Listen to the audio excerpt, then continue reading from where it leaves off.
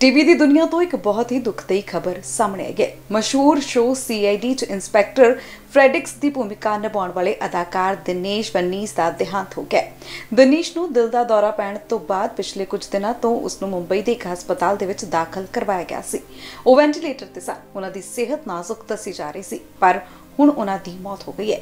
ਅਦਾਕਾਰ ਦੀ ਮੌਤ ਨਾਲ ਉਹਨਾਂ ਦੇ ਸਾਰੇ ਪ੍ਰਸ਼ੰਸਕਾਂ ਨੂੰ ਡੂੰਘਾ ਸਦਮਾ ਲੱਗਾ ਦਿਨੇਸ਼ ਫੜਨੀਸ ਪਿਛਲੇ ਕੁਝ ਦਿਨਾਂ ਤੋਂ ਆਈਸੀਯੂ 'ਚ ਜ਼ਿੰਦਗੀ ਅਤੇ ਮੌਤ ਦੀ ਲੜਾਈ ਲੜ ਰਹੇ ਸਨ। ਪਰ ਅੱਜ ਉਹਨਾਂ ਦੀ ਮੁੰਬਈ ਦੇ ਇੱਕ ਹਸਪਤਾਲ ਦੇ ਵਿੱਚ ਮੌਤ ਹੋ ਗਈ। ਦਿਨੇਸ਼ ਦੀ ਮੌਤ ਦੀ ਪੁਸ਼ਟੀ ਉਸਦੇ ਕਰੀਬੀ ਦੋਸਤ ਤੇ ਸ਼ੋਅ ਸੀਆਈਡੀ ਦੇ ਸਹਿ ਕਲਾਕਾਰ ਦਯਾਨੰਦ ਸ਼ੈਟੀ ਨੇ ਕੀਤੀ। ਦਇਆਨੰਦ ਸ਼ੈਟੀ ਦਿਨੇਸ਼ ਦੇ ਬਹੁਤ ਕਰੀਬ ਸਨ। ਦਿਨੇਸ਼ ਪੰਡੀਸ ਦੇ ਅੰਤਿਮ ਸੰਸਕਾਰ ਸੰਬੰਧੀ ਵੀ ਜਾਣਕਾਰੀ ਸਾਹਮਣੇ ਆਈ। ਦਿਨੇਸ਼ ਦਾ ਅੰਤਿਮ ਸੰਸਕਾਰ ਦੌਲਤ ਨਗਰ ਸ਼ਮਸ਼ਾਨ ਘਾਟ ਵਿਖੇ ਕੀਤਾ ਗਿਆ।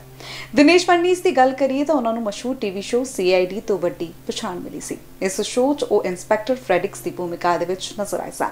ਉਹਨਾਂ ਦੇ ਕਿਰਦਾਰ ਨੂੰ ਕਾਫੀ ਪਸੰਦ ਕੀਤਾ ਗਿਆ ਸੀ, ਪਰ ਸੀਆਈਡੀ ਤੋਂ ਬਾਅਦ ਦਿਨੇਸ਼ ਅਚਾਨਕ ਪਰਦੇ ਤੋਂ ਗਾਇਬ ਹੋ ਗਏ ਸੀ। ਉਹਨਾਂ ਬਾਰੇ ਅਜਿਹੀਆਂ ਖਬਰਾਂ ਆਈਆਂ ਸਨ ਕਿ ਉਹਨਾਂ ਨੇ ਅਦਾਕਾਰੀ ਛੱਡ ਦਿੱਤੀ ਹੈ ਤੇ ਮਰਾਠੀ ਫਿਲਮਾਂ ਦੇ ਲਈ ਸਕ੍ਰਿਪਟ ਲਿਖਣੀਆਂ ਸ਼ੁਰੂ ਕਰ ਦਿੱਤੀਆਂ ਨੇ। ਉਧਰ ਉਹਨਾਂ ਦੇ ਕੈਰੀਅਰ ਦੀ ਗੱਲ ਕਰੀਏ ਤਾਂ ਉਹਨਾਂ ਨੇ 1998 ਤੋਂ 2018 ਤੱਕ ਫ੍ਰੈਡਰਿਕਸ ਦੀ ਭੂਮਿਕਾ ਨਿਭਾਈ। ਇਸ ਤੋਂ ਇਲਾਵਾ ਉਹ ਤਾਰਕ ਮਹਿਤਾ ਕਾ ਉਲਟਾ ਚਸ਼ਮਾ ਦੇ ਵਿੱਚ ਵੀ ਕੈਮੀਓ ਰੋਲ ਦੇ ਵਿੱਚ ਨਜ਼ਰ ਆਏ ਸਨ। ਇਸ ਤੋਂ ਇਲਾਵਾ ਉਹ ਆਮਿਰ ਖਾਨ ਦੀ ਫਿਲਮ ਸਰਫਰੋਸ਼ ਤੇ ਰਿਤਿਕ ਰੋਸ਼ਨ ਦੀ ਫਿਲਮ ਸੁਪਰ 30 ਦੇ ਵਿੱਚ ਵੀ ਨਜ਼ਰ ਆ ਚੁੱਕੇ ਸੀ। ਦਿਨੇਸ਼ ਦੇ ਪ੍ਰਸ਼ੰਸਕ ਉਹਨਾਂ ਨੂੰ ਸਕਰੀਨ ਤੇ ਮੁੜ ਤੋਂ ਸ਼ਾਨਦਾਰ ਪ੍ਰਦਰਸ਼ਨ ਕਰਦੇ ਦੇਖਣਾ ਚਾਹੁੰਦੇ ਸਨ, ਪਰ ਬਦਕਿਸਮਤੀ ਨਾਲ ਇਸ ਤੋਂ ਪਹਿਲਾਂ ਹੀ ਦਿਨੇਸ਼ ਦੁਨੀਆ ਨੂੰ ਅਲਵਿਦਾ ਆਕੇ। Subscribe to One India channel and never miss an update.